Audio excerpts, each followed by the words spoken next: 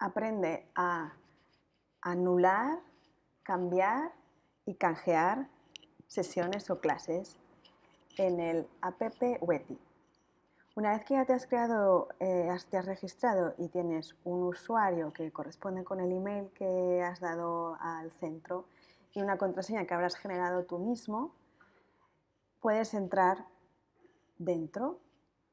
En este caso, esta persona está apuntado una vez a la semana en el grupo de ballet adultos avanzado, ocho y media, todos los jueves. Eh, en tus próximas reservas, reservas, verás un mes y medio por delante. Esta persona también se ha apuntado a Pilates Máquinas. Cuando estás apuntado a dos actividades, sigue bajando el cursor porque aparecerá la segunda actividad segunda más abajo. Entonces, ¿qué opciones te da el app? Me da la opción de anular la clase. Cuando yo anulo la clase, con cuatro horas de antelación, lo hago porque no sé qué otro día me va bien para hacer esta clase. Entonces, cuando la anulo, con antelación, cuatro horas, voy a ir a bonos y se me va a generar una clase para canjear en el momento que ya tenga claro qué día, hora, nivel quiero ir. Pero si tengo claro, vamos a anularla. Si deseo anular, se ha anulado correctamente. Ahora veréis que tengo una, dos, tres, cuatro clases para canjear porque he estado practicando de cómo se anulaban. Pero tengo la opción de, yo ya sé qué otro día quiero venir y quiero ocupar plaza cuanto antes para no quedarme sin. Entonces es cambiar. Estoy yendo avanzado.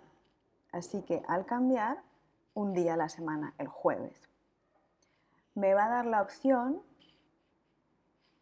de, debería, de jueves en el horario anterior, ballet iniciación 1, el viernes, o los, el grupo del lunes, o intermedio 1 y 2, me va a dar opciones en todos los niveles.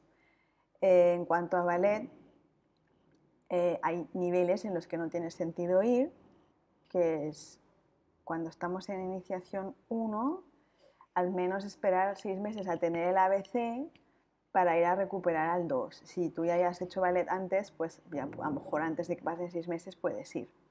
Entonces siempre con sentido común, pero os animamos a que, a que vayáis a otro nivel también, porque así ves el futuro y, es muy chulo. Entonces podría decir que quiero ir a ese día, pues puedo ir, puedo ir antes. tan tarde no porque tengo una cena. No quiero hacer mi clase de las ocho y media, pero puedo hacer la, la de antes. Así me voy, me puedo duchar aquí y me voy a la cena. Entonces tiene cuatro plazas disponibles y entonces le digo reservar. Entonces, al reservar, cuando me devuelve directamente a la primera pantalla, en próximas reservas. Así que me dice, tu próxima clase es a las 7. ¿Mm? Estamos a tiempo todavía. Y, luego todas mis reservas en mi horario habitual. Aún la podría cambiar otra vez, si estoy a tiempo, o anularla, si me he equivocado. Ahora, pongamos que quiero cambiar también me gustan los jueves. Tengo una clase de pilates de 6 a 7, uff, me va fenomenal porque así voy, pero pongamos que la quiero cambiar. Anular me generaría un bono para otro día usarla. Cambiar me da la opción ya de ver dónde hay espacio. Entonces voy a cambiarla.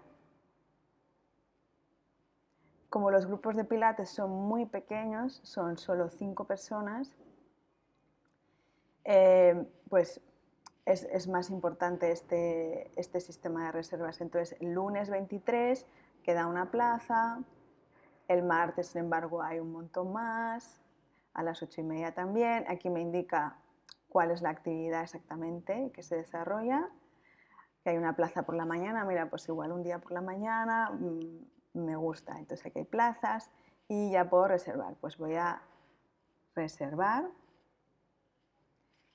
Sí, quiero cambiar la reserva. Sí. Y mi clase. ¡Ah! No he realizado el pago a la, mensualidad. Vale, esto es un fallo nuestro, porque esta persona sí ha realizado el pago. Eh, entonces te dejaría cambiar a no ser que no hayas realizado el pago. Está bien que haya salido esto. Mientras has hecho el pago puedes ver un mes y medio de reservas. Y luego, ¿qué pasaría? Si voy a bonos, vale, no he podido cambiar, pero ya veis que he podido ver dónde podría cambiar, según con los horarios. Aquí ya me dice cuáles son mis, estoy otra vez en reservas. Entonces puedo ir a bonos y decir, pues quiero, mira, esta clase que era el festivo tal, que ya no hace falta que canceles un festivo porque nosotros ya lo generamos. Entonces tengo una clase a canjear. Claro, las clases están puestas para muy tarde, o sea, hasta fin de junio. ¿Por qué? Porque si estás viniendo y al corriente de pagos, pues hasta fin de junio, hasta que acaba el curso, puedes ir cancelando, canjeando, cambiando. Siempre es mejor que lo hagas cuanto antes, pero tienes plazo suficiente. Entonces digo, quiero ahora canjearla, pues está claro que ballet sí lo he pagado y entonces de nuevo pues me dice, ballet está viniendo a las ocho y media, pues me deja venir a las siete, me deja venir, ah no, esto es una reserva, el viernes,